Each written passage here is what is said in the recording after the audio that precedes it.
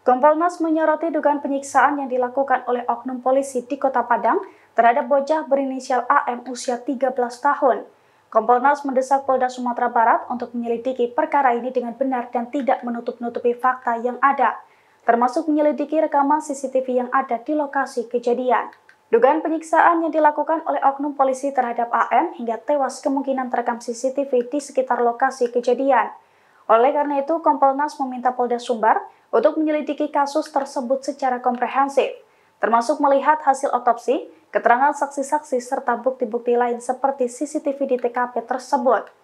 Dilansir dari tribunnews.com, hal itu disampaikan oleh Komisioner Kompolnas, Pungki Indarti pada Sabtu 22 Juni 2024. Pungki pun meminta agar hasil penyelidikan dari Polda Sumbar tidak ditutup-tutupi ke pihak keluarga, sehingga penyebab tewasnya AM bisa terungkap.